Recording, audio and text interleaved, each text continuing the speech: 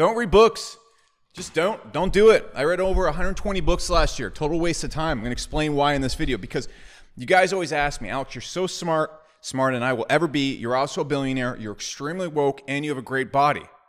And you're family friendly now. I love watching with my kids. In fact, I, I stopped sending my kids to school because of COVID, and I just have them gather around the television and watch your videos on repeat for 10 hours, which I say is finally good parenting in America. But that being said, when it gets down to reading books, I think they're super unproductive. I don't think they teach you things very well. And I'm going to give you three things that are significantly better than books when it comes to growing and educating yourself and overall just being good at what you do, which is primarily going to be entrepreneurship or making more money if you watch this channel, or just not being a little baby back bitch with the discipline of a glue eating baboon who can actually control himself and get done. And if you are actually interested in business tactics, at the end of this video, I'll show you where to get about 30 to 40 hours worth of, well, basically all the courses I used to sell. I don't sell courses to beginners anymore. I just use them as leverage to get you to watch till the end of the video. So stick around to the end and I'll show you where to get that as your reward. Again, for free.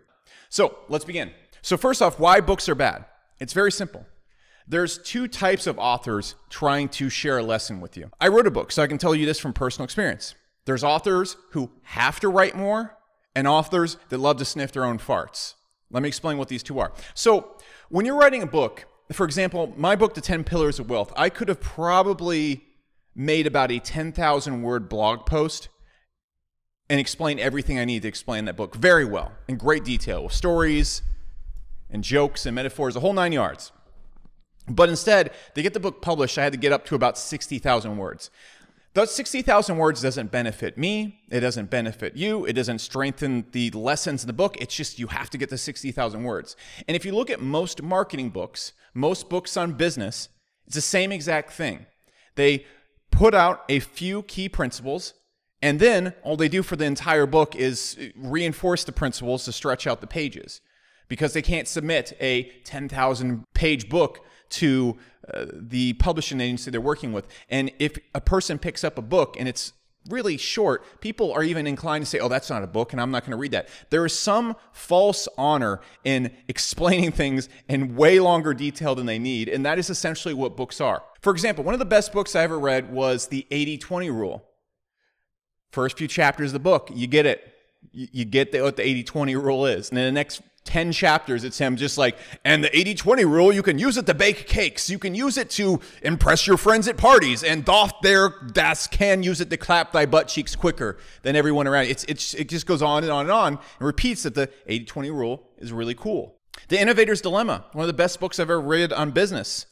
It explains why large companies are constantly overtaken by small companies. And once you understand the reasoning behind it, that large companies often simply get overtaken, not because they're lazy, but because the new technology coming out doesn't make enough money to justify the amount of effort to be put into it at a company. And that when new technology is starting up, it usually only works in niche markets that are not substantial enough. And then when new technology is emerging that can take over the marketplace, usually when it's first uh, invented, it's a small business. For example, if a business is making, let's say, $3 billion a year, new technology enters the marketplace, well, usually at the start of it, it's only a business that works to niche customers. Therefore, you can only make about 10, 15 million dollars a year from it at first, and then it slowly builds up. But it doesn't really have a market application, and usually only startups can pursue that type of business because 15 million dollars a year is great for a startup. It's not great for a larger company. So larger companies constantly face this innovator's dilemma. You have just read a 300, 500 page book. I forget how long it was. It's like a 10 hour audible read. You now know everything the book has to tell you. See, that wasn't that hard to get, was it? Please, by all means, go read the book. But when you look at that, it's, it's not an effective way to teach someone something. Then there's another type of author. There's the author that loves to sniff their own farts. The Black Swan and Anti-Fragile. Amazing books written by Nassim Taleb. I might have mispronounced his name. However, Nassim is the world champion, the belt holding world class, heavyweight master of sniffing his own farts.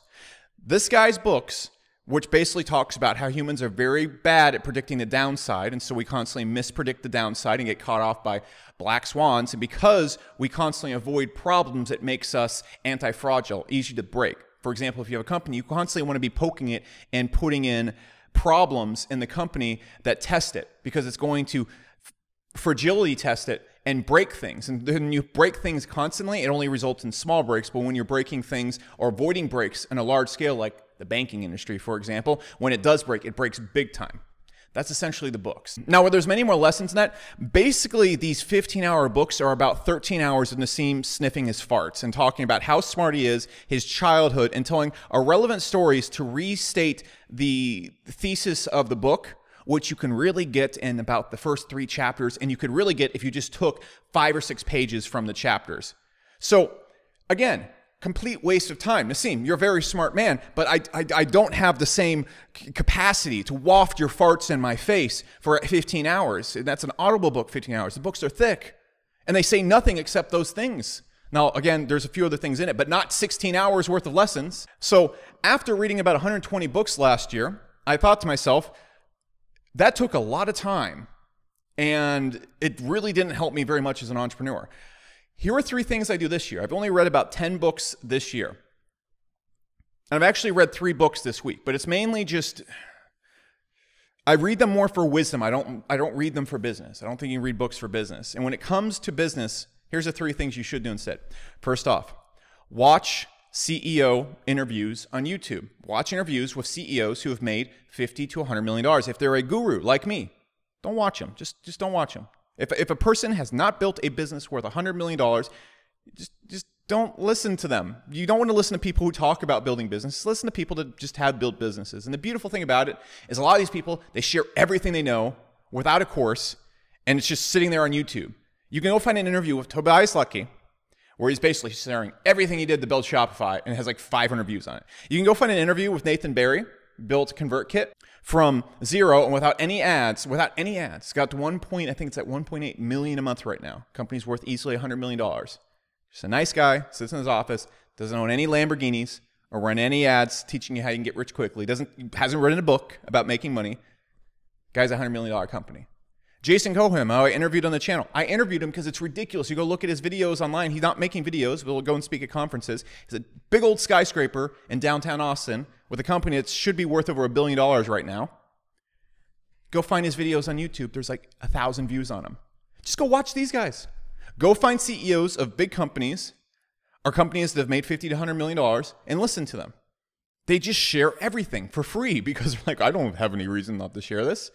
That's number one. Doing that has helped me so much as a CEO. When I read a book, I'll have maybe four to five lines of notes on most books because most books are a bunch of key ideas that aren't uh, are kind of more overarching viewpoints and then hundreds and hundreds of pages explaining those ideas when i watch a ceo interview if it's like a tobias lütke one i'll have pages of notes from an hour and a half interview i'll have so much to apply next one Find people that are at your level if you're a successful entrepreneur or at about 5 to 7x your level. Once you get into the 10x, you're kind of branching into people that are doing things on such a level that you really can't relate to it. Why? Well, first off, look, if I went and hung out with, let's say, Bill Gates right now, it would be neat. It'd be really cool. There'd be a lot of life wisdom, but I wouldn't really be able to learn too much from him. Right now, my net worth is probably around 20 to 40 million dollars. And that's all hypothetical. I want to stress I'm not throwing it out and saying, like, hey, you should copy me because I'm worth this amount. That would take what my company's valued and someone buying it. And there's all sorts of ups and downs. So let's just say my net worth is worth zero dollars. I'm just pretty good at business. Okay. The good range for me to hang out with entrepreneurship wise is people that are worth about 30 million to about 300 million. If I can get people in that range right there and network with them, I'm going to learn a ton. And so what I actively try to do is message people in those ranges and make friends with them. And then I try and go and get dinner with them or meet up with them. Or I like to build a network of about people in that range. And I, I try to constantly hang out with those people. Doing that, man, every single time I hang out with these people, I leave with weeks worth of motivation and ideas. It has been one of the most helpful things I've ever done.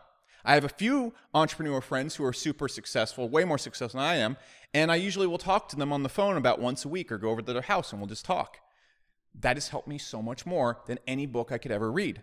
Do that. I'm not saying find mentors, I'm saying find people you're friends with that are super successful in what you want to do at the same time. If you're a cool person, there's other people that are cool doing the same thing you can do, and you don't go to their house and be like, "So, tell me about your marketing funnels." You go to their house and you have a few drinks, talk about what's going on in the world, talk about life, women, and bumper cars. I don't know. And then a business will usually come up because you're interested in business as well. But make genuine friends with other people that are doing things on a big level, and it's going to bring you up to that level. Finally, last one. This is weird. Teach people who are a little bit below you, maybe like 50%, 60% below you. So if you're like at 100%, I messed up those percentages. You want to find someone who's doing maybe like 60% of what you are, 70% of what you are. Why? Well, the reason for this is when you teach people things, you have to look at your thoughts and your views and bring structure to them.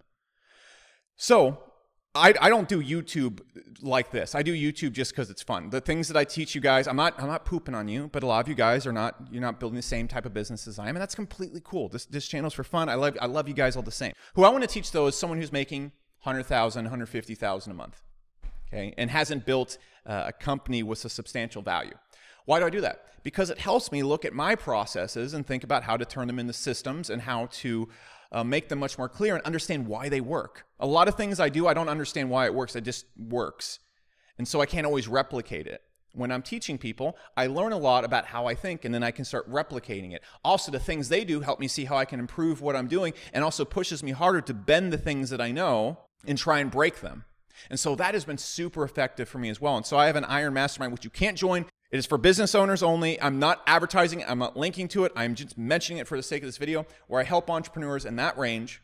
And it's been super helpful to me growth wise. So if you're making, let's say, $500 a month, find someone who's at $200 a month, get a group of them, and help them. And it will help you think with much better clarity. It will help you evolve into a better leader.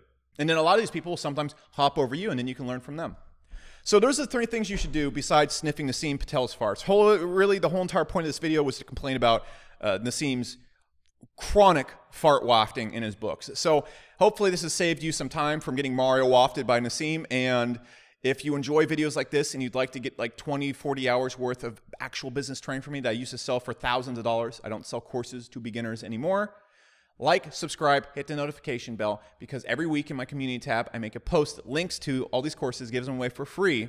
You won't see that unless the algorithm shows it to you. And the best way to do that is like, subscribe, hit the notification bell. On top of that, check out the videos after this video. It's some of the best things that I've done in my life as far as controlling my mind, increasing my motivation. It have allowed me to work the hours I do, focus the way I do, and overall do okay in life. So I would suggest watching those videos. I'll see you in the next one.